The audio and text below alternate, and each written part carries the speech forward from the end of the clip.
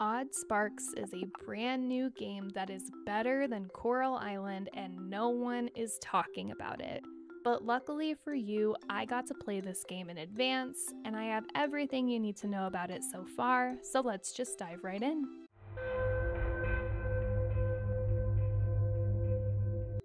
Hi gamers, it's your host Stormie and welcome to the first game review of 2024 on this channel. And today we are taking a look at Oddsparks, an automation adventure by Massive Miniteam.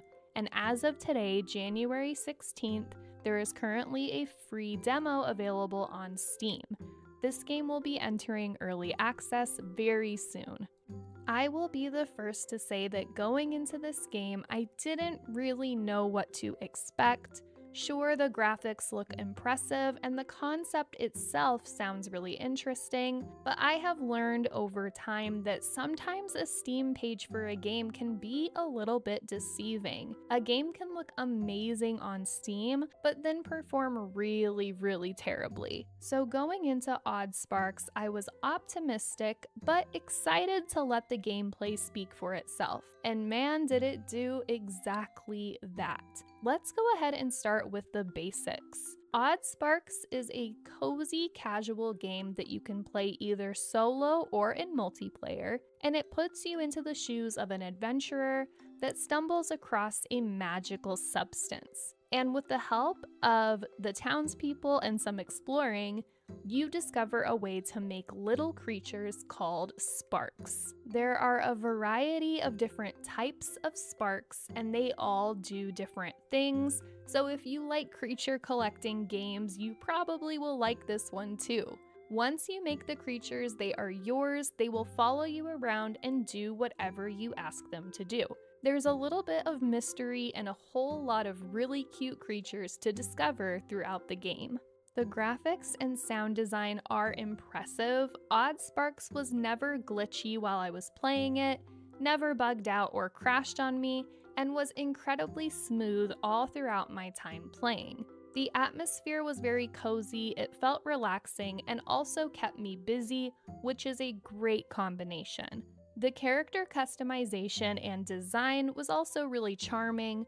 The townspeople all look really unique and had a lot of personality, so I'm really excited to continue this game and meet everybody else. The sound design, from what I could tell so far, was also really great with some nice background music as you play throughout the game. As you go through, you will learn that the different sparks have different tasks that they can do to help you with your crafting, foraging, and so on. The control system is really easy to learn, you basically just toss these little guys out and it will attach them to whatever task you are wanting them to do. They can collect wood for you, stones, break down bushes, and more. Numerous methods exist to organize and manage elements on your menu screen, encompassing your map, quests, inventory, and more. A notable feature that caught my attention is the display of a progression line for quests associated to each character in town. This enables you to track your advancement in their respective quests,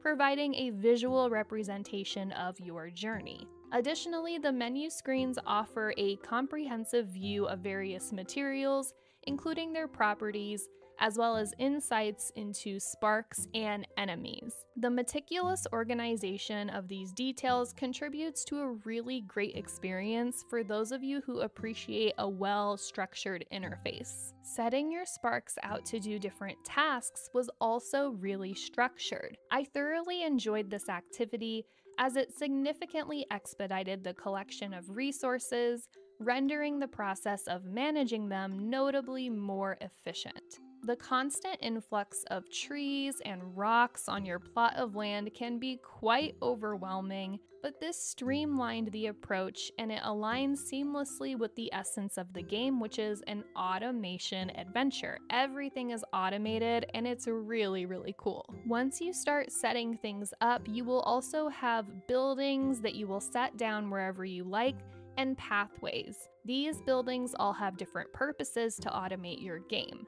Some include a lodger where you can have sparks be constantly chopping wood for you, and stations where they will automatically generate more sparks to be able to do more work for you. The way you'll make this work is by laying down pathways connecting all of the structures together and then telling the sparks to work on that pathway. They will then move your wood for you or any other material that you're trying to move from one building to the next. I think I'm almost making this sound more complicated than it really is, it's extremely easy. This gives you the ability to go do other things. You can explore, do side quests, all while your sparks are taking care of your busy work for you. I loved seeing this in action because it really made me feel like there was never a moment where I was falling behind and I constantly felt like I was being productive, even if I was just exploring or talking to townspeople. I was also incredibly impressed with how the automation side of things ran. It basically ran exactly as it should. I was never looking at the sparks going, Why aren't you doing what I told you to do?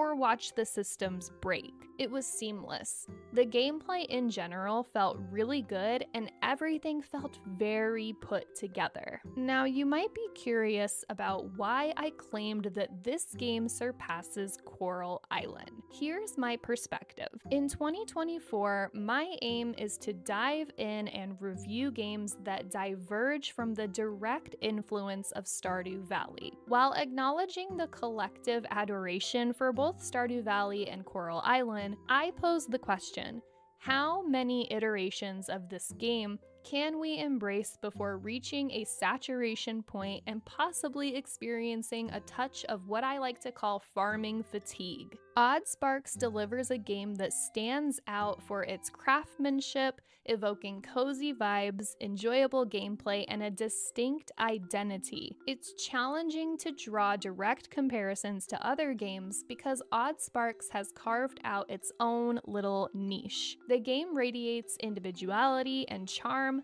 showcasing its evident passion and dedication from the developers in crafting a narrative that is truly their own. I really hope that this game ends up getting the recognition that it deserves, and I would strongly encourage you check out the demo that is available now because it's going to be a huge hit in the cozy category when it comes time for the full release. Let me know your thoughts in the comment section. Are you going to give this game a try? Are you also looking for different types of cozy games going into the new year? Am I alone in feeling a little overdone with the Stardew Valley storyline? Let me know. I love to continue these conversations down below. Please don't forget to like and subscribe if you enjoyed your time here and want to see more indie game coverage. As always, thank you all so much for the endless support, and I will see you all in the next video. Bye.